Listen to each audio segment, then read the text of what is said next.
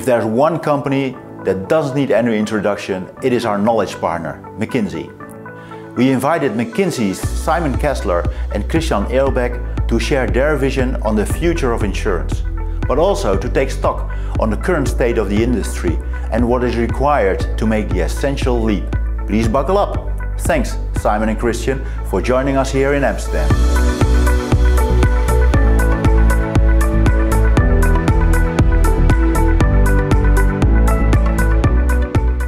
Good morning. It's great to be back uh, at DIA. I think it has been more than two years since we were here. And a lot has happened in these two years, actually. Um, I mean, COVID hit. Uh, there was a lot of excitement uh, when it came to digital insurance because uh, it was seen as an accelerator.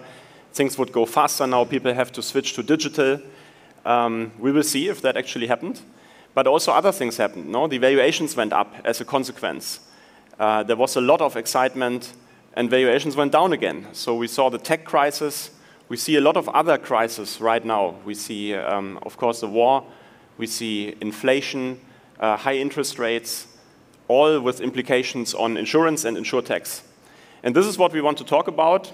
And we want to talk about also why, despite all these negative um, uh, hits at the moment, we remain optimistic about the sector.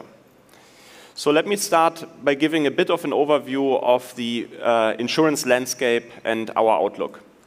This is, of course, the underlying industry of insurance uh, and insurtechs, and um, this looks actually pretty good. So when you look at it, um, you see that it has been growing quite nicely, also during COVID. Uh, premiums went up, profits went up, and our outlook is also positive. So for the next few years, we expect even a slightly accelerated growth um, on both the top line and uh, the profit side. Why is that? I mean, during COVID, um, pro uh, profitability was not hit as negatively as many expected. Premiums uh, continued to grow. Uh, claims went down, uh, as you know, so um, a lot of additional profit was generated in the P&C space, which compensated for decreases in overall profitability in life. So that actually um, was, uh, was quite positive. Um, at the same time, when you look into customer behavior and what happened during COVID, you see actually a mixed pattern. On the one hand side, you see that uh, people use digital channels, digital touchpoints much more for, um, for example, claims, for operations. So they had to use now apps, um, websites, phone much more than in the past. At the same time, what did not go up, and this is a bit surprising, is on the right hand side the share of digital distribution. So digital distribution, and this is P&C, remained basically flat, even before COVID and during COVID. Um, and that is a bit as a, a, surprise, I would say. At least we wouldn't have expected it. There are a couple of reasons um, when you look back. I mean, one is, of course, uh, given the high profitabilities that many had and that motor is still the key line for digital distribution. Um, premiums did not go up. Actually, renewal prices were often lower than um, in the past. So people didn't have the need to switch. So switching went down. You see also with all the price comparison websites and aggregators that they have not really benefited uh, during COVID. So people did not switch so much. There were less a trigger point. And it was also what we see in our research, uh, less on top of mind of customers. So customers, I mean, they thought about all kinds of things during COVID, but not about going digital to buy insurance, unfortunately. So this has not changed. Uh, it might change in the future, but when you look at it, also the absolute share is less than 20% still. Very different market by market. UK, we have more than 50%. Other markets, it's single digit. But overall in Europe, digital distribution is still less than uh, uh, 20%. And at the same time, there is massive transformation. We saw it already before COVID. Uh, we talked about it here all kinds of, of things going on along the value chain. You see, I mean, customer access is becoming more digital. You see better journeys, better customer experience. Um, at the same time, still a lot of challenges, a lot of complexity, legacies, high admin costs with many of the insurance companies. So also a lot of opportunity for, for insurtechs in this environment. So we believe, I mean, these trends, and these are just a few examples, they will continue. Uh, and we will see digital transformation at scale in the next few years because there are still many, many inefficiencies um, to overcome in the market. And as a result of that, when you look a bit into the future in the next five years, 10 years, this is a bit how we think the insurance landscape will look like. So, um, and we try to, to illustrate it. We see still a lot of integrated insurers, of course, so big insurance groups uh, covering the entire value chain from customer access to products, technical excellence, operations, everything in-house. Uh, at the same time, we see also a lot of ecosystems emerging. Uh, I mean, mobility is becoming more and more reality, health, and insurance is much more connected with that and embedded. We also see more white label providers covering everything in the insurance value chain but the customer front end. And more and more industry utilities, for example, on the claims side or on operations, uh, insurtechs providing services to integrated insurers, to white label providers, and also to ecosystems. So it will be a more diverse picture in the future, not only insurance companies and then maybe some attackers on the side, but uh, we believe these, these four archetypes will become quite important. But let's double click on insurance uh, and especially insurtechs. Christian. Yes, thank you, Simon. So let's take a look at the role and the value proposition that uh, all of you in the room, the great insurtechs of this world, have. And uh, let me first start um, on the next page with just highlighting a few examples of your impact. I think we have seen also yesterday uh, great examples, but let me just highlight a few. First, we see a lot of better customer experience. So many of you have simple journeys, have simplified the product, and also the language that customers finally understand what insurance is actually about. Then transparency is a lot of value that you bring to the to the customer. Yeah? So tech-enabled, so be it via comparing products or prices, but also via customer analytics, making them understand what they need um, and where they are covered.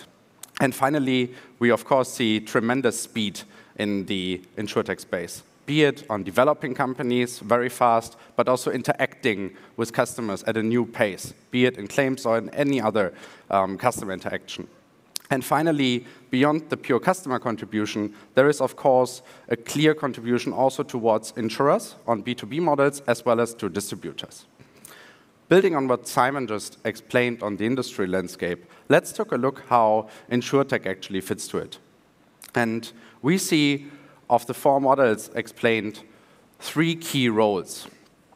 One, focused players, and I will elaborate in a minute.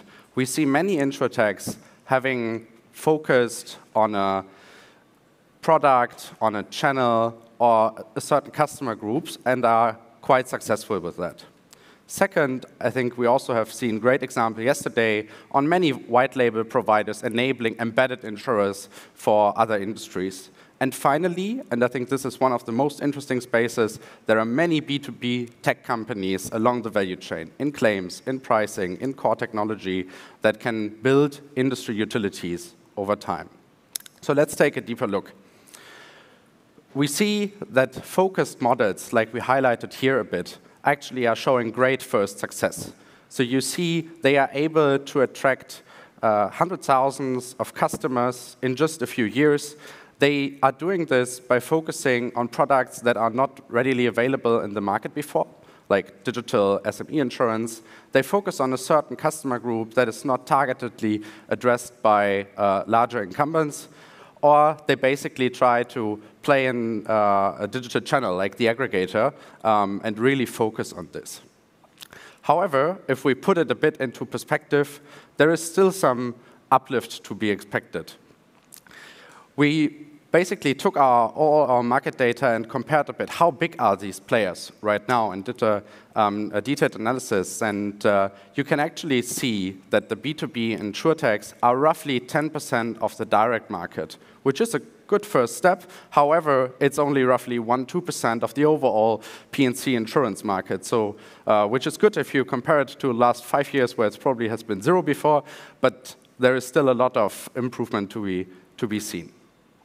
Second, let's take a close look into embedded models. And I think we, have seen multiple examples yesterday. This is about really enabling other industries, other ecosystem to integrate insurance. And you can see examples from travel to automotive to retail tech and many other industries. And it's not only that they enable more customer value, but it's also a tremendous value to all these um, players from other industries that can use insurance to also upgrade their business model and enter a very attractive adjacency.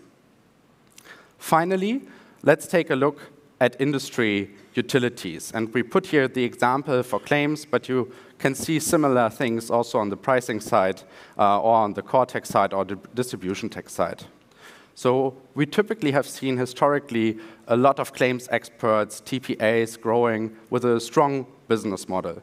What happened next was there are many players emerging along all these different value chain steps, so niche players focusing especially on fraud management or on repair assessment and really trying to conquer uh, a distinct step in the value chain. And what we see now emerging are really new end-to-end -end models. So utility trying to cover the full claims value chain or the full technology value chain. And this will be something that will be here for the future. So this is the overall look into the, uh, the value proposition. Now Simon will go on with a recent look into the funding environment. Yeah, I mean, when we give a perspective on InsurTech, we have to talk about funding and um, valuations. I mean, when you look at it, uh, last year was really a record year. So according to our database, uh, 3 billion in European InsurTech funding, uh, really, I mean, more than doubled uh, uh, compared to 2020 um, despite COVID. So very, very positive picture. Also this year, actually, I mean, uh, we are still uh, uh, collecting the numbers, but this uh, bar, the white bar, gives you an indication what we believe is possible um, this year. So year to date, we look good, slightly below last year, but certainly above 2020. So um, from that perspective, actually funding uh, looks good. There is still a lot of funding in, in Germany and the UK as it was before. We have uh, more maturing funding rounds, uh, and currently actually 40 billion in value if you add all the insurtechs um, up together. So that's quite sizable. Um, at the same time, what we see, we see an increasing polarization. So this is global uh, fintech funding, global insurtech funding on the left. 7 billion in 2020 went to 14 billion in uh, 2021. So also globally, it uh, basically doubled. Um, what you see, however, is that the rounds of 50 million US dollars and more really increased. So there was not so much increase in smaller rounds, but more in, in bigger, uh, more mature funding. And a few examples you see on the right-hand side in Europe. So that is the same trend everywhere. We see bigger, uh, more mature rounds, uh, less of, of seed stage investments. And then, of course, I mean, last year I mentioned it, uh, valuations were super nice. So this is one year ago. Um, you see the valuations compared to the top line, we try to put it a bit into perspective. So uh, the revenues um, or premiums compared to valuation, you saw multiples of 10, 20, even 30 one year ago. Compared to traditional insurance companies, um, this is very, very nice. Even compared to more digital direct players like Direct Line, uh, this is a very nice multiple. They have a bit more than one typically. Um, so uh, that was a very nice environment. And if we had this speech one year ago, I mean, everything looked uh, quite promising. But this year, unfortunately, this is what happened. Uh, valuations went down uh, quite a bit, 90%, even more than 90%. And um, yeah, uh, still, they are uh, higher than traditional insurance companies if you take, again, a revenue multiple. So you see, for example, Lemonade here with more than a billion compared to a couple of hundred millions in premium. So there is already, um, uh, yeah, also a premium on it uh, that you see here. So it went down quite a bit. At the same time, it um, didn't evaporate completely. What are the reasons? I mean, there are a couple of reasons. Um, and of course, I mean, you know, the high valuation levels before, everything went maybe too high. People were too optimistic when COVID hit. Uh, at the same time, interest rates went now up, and if you are a growth company, that will of course hit you economically very hard. So capital becomes more expensive for growth. Then we saw the tech business decline. Uh, so all tech companies, not only insurtechs, suffered quite a bit. The political and economical unrest that we see right now and also a bit like uh, what we call here an insurtech business model crisis. So we still see actually many insurtechs not um, scaling as fast as they promised or expected. Um, also, we see that many insurtechs are not generating um, the profits they expected, so not 10x improvement also along the value chain. So that is still, I mean, something that is yet to be proven. Um, and all these factors, of course, create a difficult environment for valuation, create also a difficult environment uh, for, for private markets in the future. Um, at the same time, in this environment, we remain still optimistic, as I said in the beginning. I mean, there are, especially in these environments, lots of opportunities. And Christian will tell you why and how these opportunities can be captured. So first of all, we ask ourselves, how big can this space become in the end of this decade? And we took a look actually to a bit more major space, which is a broader fintech space. And um, so we looked at the market capitalization of financial services players from the banking space over time in the last five years. And interestingly enough, you can basically see that fintechs that are a bit ahead of the, the broader in, insurtech space are actually by now accounting for more than 20% of the market cap of traditional banks. And if you take all of the non-traditional players in the banking industry together, it's actually more than 50% uh, of the total value. So we ask ourselves, what would that mean if we translate this to the insurtech space?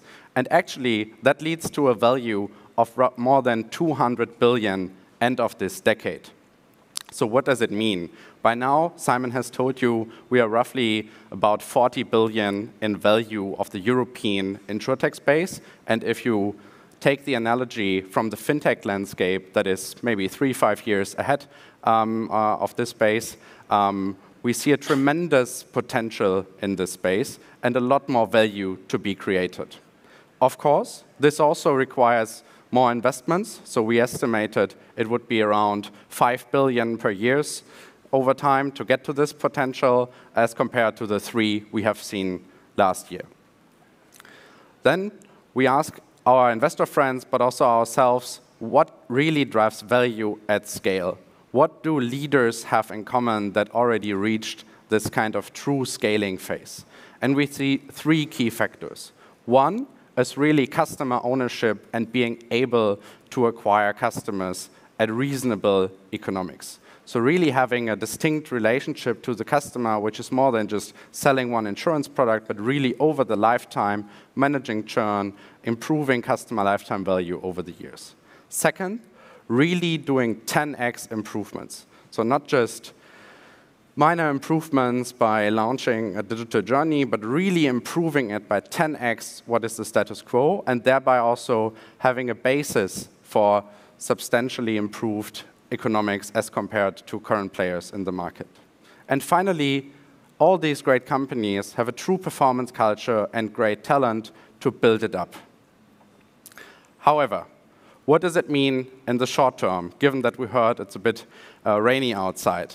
So for now, for the short term, decisive action is needed to also survive uh, this uh, short market downturn. So that means looking at cost, extending runway for the next 12 to 18 months, optimizing the business model for resilience, meaning optimizing the channel mix, also taking in more the profitable business and not doing growth at all cost as we have seen it before, and also leverage the opportunity to maybe inorganically or via other ways strengthen the market position.